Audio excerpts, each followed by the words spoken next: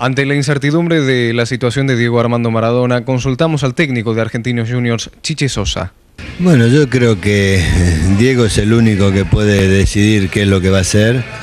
Yo creo que en lo que respecta a sus lesiones que tuvo y tuvo desde siempre, él siempre fue el mejor médico que tuvo. Él cuando dijo, yo me acuerdo que cuando debutaba en primera, cuando decía que estaba lesionado o decía que podía jugar, él se, sabía perfectamente lo que sentía. Y bueno, y creemos, creo yo, porque si él no se encuentra en condiciones de jugar, no va a seguir jugando. ¿Crees que está deprimido?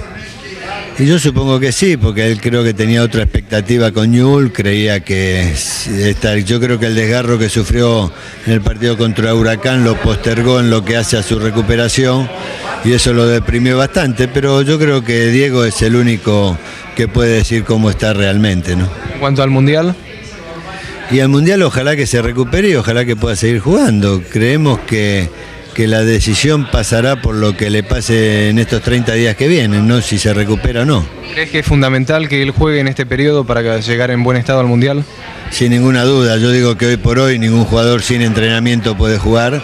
Nosotros no podemos negar las actitudes técnicas de Maradona pero si no está entrenado difícilmente puede estar en la alta competencia.